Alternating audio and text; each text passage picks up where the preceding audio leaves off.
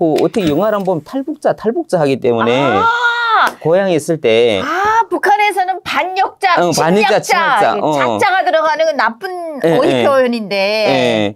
그런데 이게 탈북자라고 하니까 어, 탈북자라고 하니까 아 저기 예, 저 어떻게 보면 이게 남조선에서는 우리 거- 간 사람들을 어, 저렇게 자자를 이렇게 표현을 하면서 나쁘게 저 보는구나. 뭔가 예, 갈라지게 어 생각이 진짜 180%팍 바뀐 게 어디냐면 어.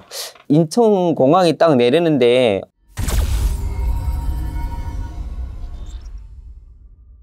오 깜짝 놀랐습니다. 진짜 이게 음. 우선 비행장 자체 비행장이라 해야 되겠죠 공항에 응, 예. 네. 공항에 딱 들어서는 순간 너무나 이게 대형 크, 크잖아요. 대규모 규모, 건물이죠. 그리고 바닥부터 시작해서 생활문화적인 거 꽃바구니부터 시작해서 꽃들 환경 그다음 깨끗하고 길거리도 너무 멋있고 아. 그리고 이제 진짜 현대식으로 지금 꾸려놨잖아요. 아, 아. 야 이게 진짜 이게 천국이구나. 어, 북한에서 알기는 진짜 이게 돈이 많은 사람은 잘 사는데 못 사는 사람들은 이렇게 구걸해서 사는 사람도 엄청 음, 많은 걸로 알고 거지가 있고 많다. 그리고 항상 그 길거리에는 쓰레기들이 항상 널려 있고 그렇지 더럽다. 어, 그리고 이 정도로 이렇게 생활 문화가 이렇게 묘모가 됐으면 나라가 이만큼 뭔가 질서가 서 있고, 어. 예, 이게 그리고 어, 환경적으로 보나 모든 생활이 어, 안정적인 나라구나. 아, 아, 이게 진짜 우리 민족이구나. 아, 아. 그걸 거기서 어, 내가 진짜 잘했구나 하는 생각을 다시금 느끼게 됐어요. 아, 공항에 처음, 예. 도착하는 순간에 이 순간에 딱 이렇게 보는 순간. 차는 또 얼마나 많아요. 도로 그렇지. 보게 되면 우리는 차를 보기 드물잖아요. 그렇지. 이거 북한에서는 한국이란 나라는 남조선은 거지가 많고 어디 가도 쓰레기가 많고 정말 쓰레기 더미 속에서 음. 산다라고 배웠는데 예, 예. 거지는커녕 뭐 그러니까 예. 쓰레기는커녕 뭐 아무것도 그러니까 없어요. 여기서 제가 보면 진짜 지금 보면 노숙자들은 있잖아요. 음. 뭐 서울 뭐 어디 가게 되면 있는데 네. 근데 이분들이 노숙자 되는 원인은 난 아직까지 정확히는 모르겠으나 얼마든지 여기서 노력을 하고 얼마든지 자기 음. 피땀을 바치면 살 수 있는. 나라입니다. 왜 저 사람이 노숙을 하는지 한 사람을 통해서 일단 물어봤어요. 한번. 음. 왜 노숙을 할까요? 하니까 그뭐 사업을 하다가 망하셨다든가 음. 아니면 가정적으로 이렇게 뭔가 타격을 받아가지고 음. 그러니까 이게 뭔가 정신적으로. 예. 음. 아, 그래서 노숙을 하는구나. 네. 음. 그래서 제가 조금이나마 또 이해를 하신 것 같아요. 음, 진짜. 하게 된 거죠. 예, 하게 된 것 같아요. 그러면 이제 그 차가 마른 것도 예, 공항에서 나와서 도로에서 봤다라고 예, 했는데 한국에 이렇게 차가 많다라는 거를 좀 알고 왔어요? 아니면은 몰랐죠. 어. 세상에 대해서 몰랐는데, 어, 세상에 대해서 몰라. 지구가 어떻게 돌아가는지도 몰랐고, 어, 이게 북한은 그냥 이게 독재가 이렇게 어. 우리를 지켜주고, 어. 저 하늘의 신이구나. 어. 이 사람한테 우리 충성을 하면서 어. 무조건 어, 살아야 되겠구나 어. 이런 개념만 알고 있었지 세상 형편은 전혀 몰랐습니다. 지구가 어떻게 돌아가고 사람이 어떻게 살아가고 음. 또 어떻게 발전하는지도 음, 몰랐는데 네, 핵무기만 가지고는 가지고 있는 북한이 진짜 세상에서 최고다. 이걸 그냥 지켜야 되고 아. 유지해야 되고 안타깝다. 그 핵 때문에 북한 네. 주민들 저렇게 어렵고 힘들게 사는 거는 몰랐어요? 그렇죠. 어떻게 하면 아이고. 얼마나 신의교육을 시켰어. 총알은 있어야 되지만 쌀알은 없어도 총알은 있어야 된다. 저기 북한이 구호잖아요. 우리는 못 먹고 죽을 먹고 굶어 죽더라도 우리 나라를 지켜야 된다는 그런 뭐 음. 그걸 먼저 내세우다 보니까 언제 뭐 이런 어, 자유와 인권에 대해서 생각도 안 했죠. 그렇죠. 그렇게 세뇌 교육 받다가 예.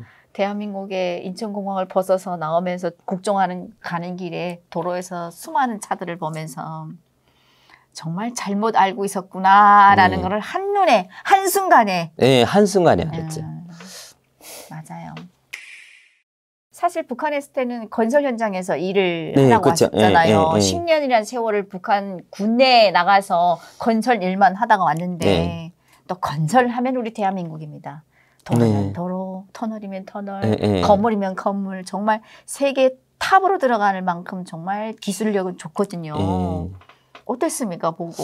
어, 진짜 저는 음, 도로가 진짜 이게 어떻게 보면 나라의 경제의 진짜 최우선이라는 것을 그렇지, 예. 나라의 또 얼굴이잖아요. 어. 근데 이게 발전할 수밖에 없은 게 어. 이유가 있었구나. 아. 도로를 보고. 아, 예, 이 대한민국이 진짜 발전할 수 있는 그 길이 바로 도로였구나. 아. 어디거나 도로가 잘 돼 있고 진짜 여기서 부산이든 어디 먼 거리를 가자면 하루에도 뭐 어떤 네 다섯 시간 가잖아요. 그렇죠, 그렇죠. 우리 고향 같은 건 평양에 가자면 몇 달이 걸립니다. 몇달 걸려. 몇 달. 또 가다만 도로가 안 좋아 차가 고장 나가지고 또 수리하는 기간 수리 못하면 또 거기서 또 잠복해 있다가 수, 또 고쳐가지고 가고.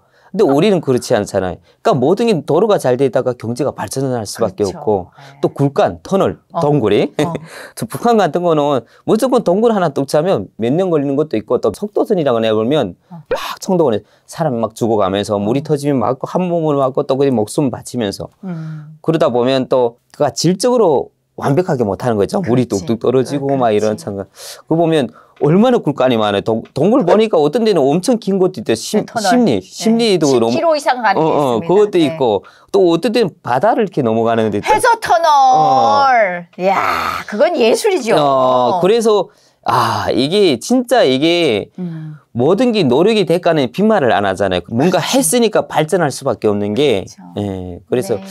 한국이 진짜 자동차를 몰고 가면서도 어. 네 진짜 거짓말 아니고 아 그 옛날에 대통령님들 예, 또, 또 도로를 위해서 또 힘쓰신 그 대통령님들을 어. 많이 또 존경하게 되고 어. 인사를 드립니다. 나 몰래 묵묵히 네. 정말 고맙습니다. 감사합니다. 네. 이러고요.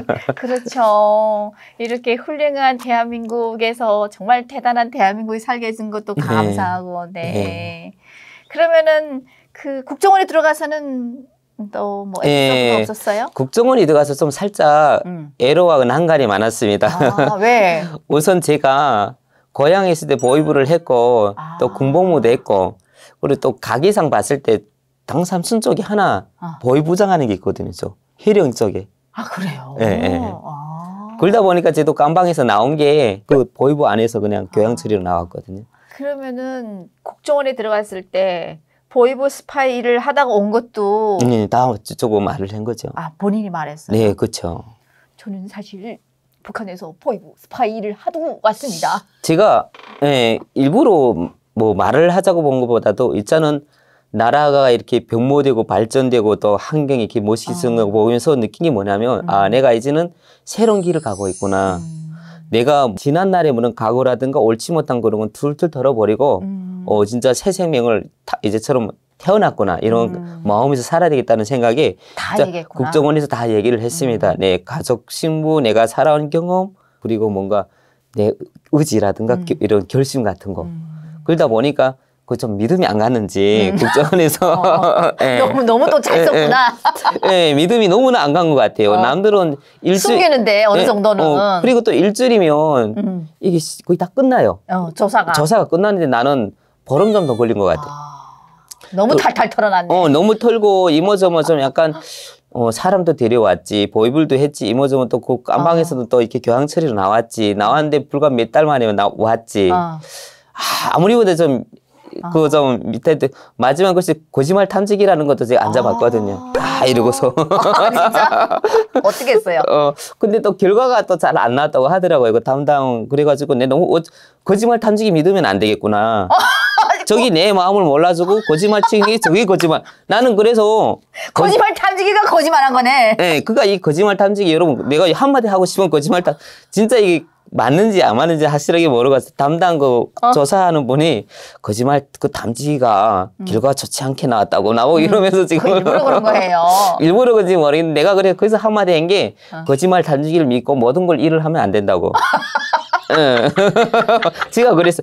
내 마음을 하나도 못 알아주고 지금 거짓말로 말하기, 말하는 거라고, 저게. 어. 저걸 믿고 일을 했다고 망칠 수도 있고, 큰 일을 친다고. 네, 제가 그랬습니다.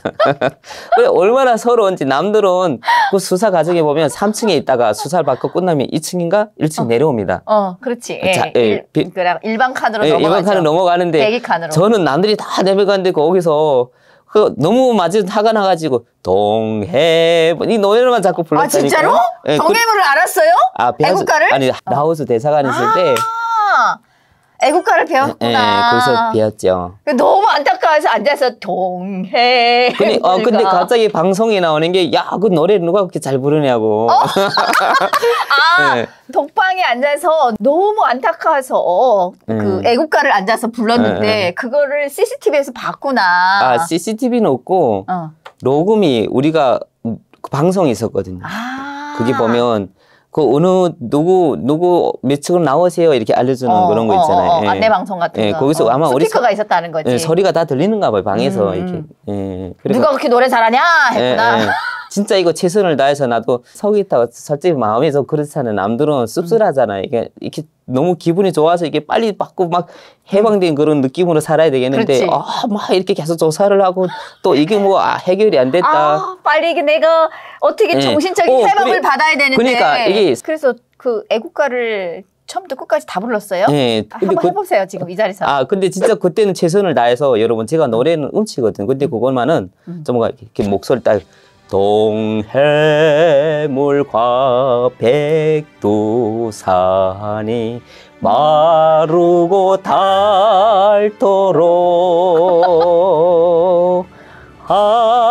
하나님이 보호하사 우리나라 만세. 오, 잘한다. 잘했죠. 예. 요거보다 더 잘한 것 같아요. 오, 지금 이야. 살짝 감기 왔어가지고 음. 목이 좀 이런데 그때는 음. 막 이렇게 음, 예, 정말 정말 마음으로 그, 네. 예, 부른 거잖아요. 네.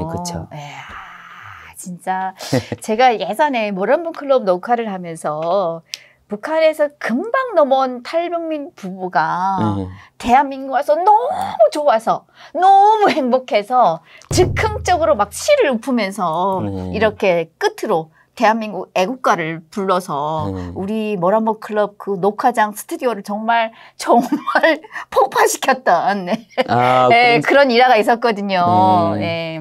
이게 너무 감사한 마음에 애국가를 정말 진심을 다해서 부른 것 같아요. 사실 북한 사람들이 북한 애국가 아는 사람 제대로 없을걸요. 저는 뭐 다 그래- 그런지는 예, 모르겠지만. 저는 음. 우선 왔으면 애국가부터는 어떻게 알고 있어야 되겠다. 그렇죠. 네, 그렇죠. 이게 제일 준비된 사람의 기본 그렇죠. 어, 모습이잖아요. 아, 그럼요, 예. 그럼요. 이거부터 네. 알고 있어야 되겠다 해가지고 응. 어떻게 좀 연습을 한 것 같습니다. 아, 그렇죠. 네. 저도 지금도 그 새벽에 어디 갈 일이 있어서 운전하게 되면 딱 다섯 시면은 애국가가 음. 나오거든요. 네. 그러면은 정말 이게 뭐랄까 마음이 좀 아, 뭉클해진다는 음. 그런 느낌을 받기도 해요.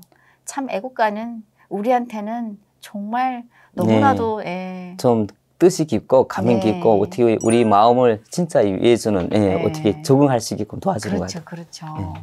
그러면은 거기서 이제 국정원 생활을 하시면서 그 안에서 또 다른 뭐 감동적인 에피소드는 없었어요? 음, 감동을 아, 감- 받은. 감동이라는 거 진짜 이게 ul정원 분들 보게 되면 체구적도 우람하잖아요. 음. 딱 그리고 잘생겼었어요. 음. 그리고 하나도 자기 티를 내지 않고 뭐 툴차리 이런 것도 없이 어, 겸손한 마음으로 그렇지, 그렇지. 네, 어떻게 하면 달려주고 뭐 이게 잘못된 어. 거는 진짜 선한 마음으로 어. 다가와가지고 이러면 안 된다. 야 이게 간부잖아. 우리를 예를, 예를 들어보면 당- 간부죠. 간부잖아요. 당 간부 같은 음, 그런. 에? 음, 음. 그런데 그렇게 우리 마음속을 알아가지고 따뜻한 마음으로 다가오니까 음.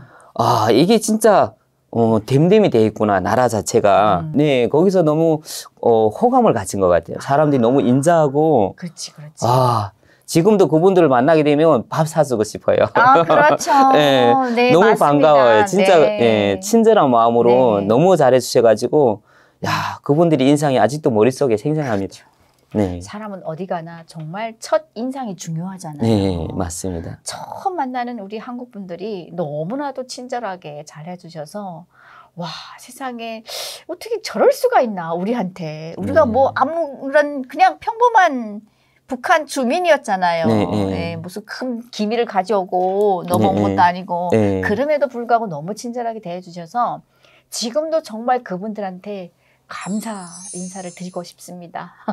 네.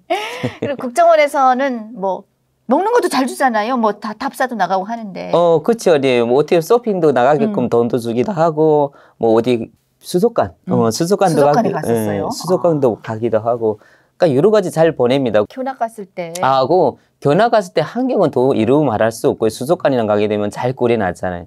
뭐 어떻게 보면 유리관 안에 그렇지, 고기들 다니고 고기. 고- 하늘 위에도 뭔가 떠다니는 그런 음. 느낌. 음. 좀 점점 가면 갈수록 새로운 모습 많이 보고 하니까 음. 어 진짜 이건 천국이다. 음. 네. 하나원에 넘어와서는 뭐 또 다른 아 진짜 이게 하나원에 와서 여러분 제가 담배를 끊었습니다. 아, 예. 잘했네. 담배를 제가 끊, 끊게 된 원인이 그 강사분이 이렇게 우리를 강의를 하셨어요 흡연에 대해서. 음. 근데 그게 얼마나 내 마음속에 와닿았는지 어. 어 내가 한국에 적응하자면 우선 어. 담배를 끊어야 되겠구나. 아. 그내 자신뿐 아니라 내 가족, 그내 친구들을 위해서라도 꺼내야 되겠고 아.